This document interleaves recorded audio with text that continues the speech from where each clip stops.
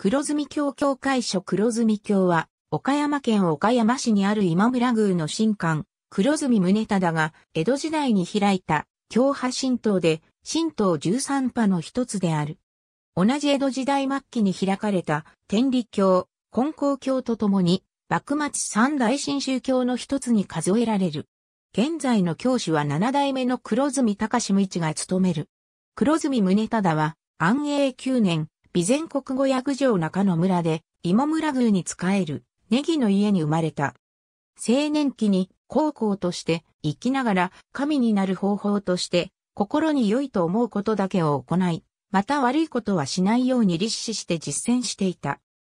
しかし、流行り病で父母を相次いで亡くしていまい、その悲しみから病に伏し、既得の状態まで陥った宗忠は、文化11年11月11日、当時の日の出を拝む中で宇宙の親神である、アマテラス大神と自分が一体となるという体験をした。黒住教ではこれを天命直樹と呼び、この日を立教の日としている。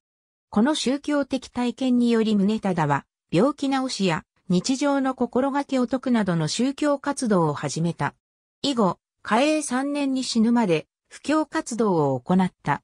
宗忠の死後、安政3年に、吉田家より、総忠広明神の信号を与えられ、文久2年に、京都の神楽岡に宗忠神社が創建された。宗忠神社は、慶応元年、孔明天皇によって直眼書となり、14位下の深海を宣言された。明治9年、新党事務局から新党黒住派として独立した。昭和27年、宗教法人として認証された。平成28年、東大教主、黒住宗春が自身が満80歳を迎える平成29年9月18日に、教師を退く意向を表明、黒住教協議会において認められ、その旨が、信徒に発表された。七大教主には副教師であった、長男、総道が就任。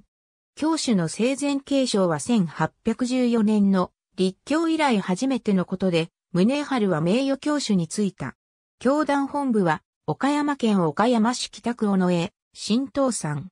10月27日に、新東山へ遷座。江戸時代後期の神道では、旧来の半神論的神道とは異なる、林羅山の唱えた理あたり心地神道などに見られるような、すべての人の心に神が内在するという、近代的とも言える神の観念が広まっていた。黒住宗忠は、自らが合一したアマテラス大神を危機神話で語られる太陽神、農耕神としての存在よりも、すべての人の心に存在し、合一を果たすことで、病気の治癒や魂の救済を可能にする、究極存在として説いた。黒住教は、アマテラス大神以外の神の神徳を説いていない。宗忠の説いたアマテラス大神は800万の神の本体であり、他の神はアマテラス大神が枝葉のように分化した存在と説いている。そのため、黒住教は多神教でありながらも一神教的な特徴があるとされる。また、アマテラス大神は外在的な仏神ではないため、信者は太陽を拝む批拝を行うが、太陽信仰とは異なる。経典の中に存在する過去の神ではなく、各々の心の中に生きている神であることから、宗忠は独自の経典も作らなかった。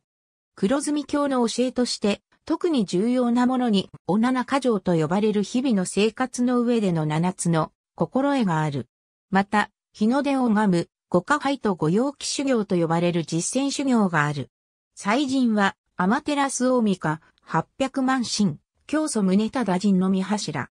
五代教主、宗和と六代教主、宗春は、川崎幸信医師と信仰が深く、川崎と共に学校法人川崎学園や社会、福祉法人旭川荘の創立に関わっている。現当主の黒住宗春は、日本会議の代表会員である。塚田実高によると、戦後一時は、黒住家から国政に候補者を立てていたことがあるという。伊勢神宮放産活動を通し、伊勢神宮とは親しく新東山の本殿建築には、仙宮寺の旧内宮の古材を受け利用もしている。